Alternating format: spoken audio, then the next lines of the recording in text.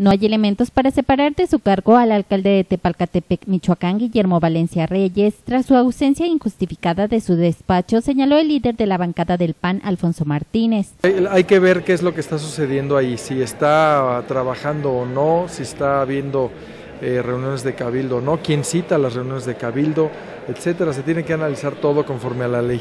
Este martes el secretario local leyó la notificación del secretario de aquel ayuntamiento, Axel Buenrostro, en la que consigna la ausencia del edil. El PAN dijo que se analizará el caso. Tenemos que ver qué sustento tiene ese informe.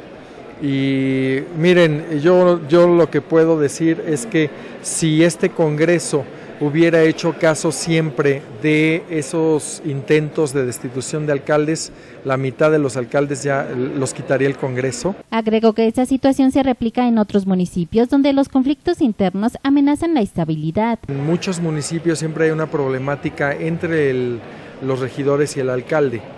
Eh, y pues se tiene que fortalecer la institucionalidad. Dijo que los diputados evaluarán si existen elementos para remover al municipio sin atentar contra el voto de los ciudadanos que lo eligieron. La tendencia del Congreso es hacia fortalecer las instituciones y no es a defender a un alcalde de un partido político o no. El edil de Teparcatepec ha dicho que grupos locales lo tienen amenazado de muerte y que varios integrantes de su familia huyeron del municipio por razones similares. Con información de Fátima Paz, informa Cuasar TV.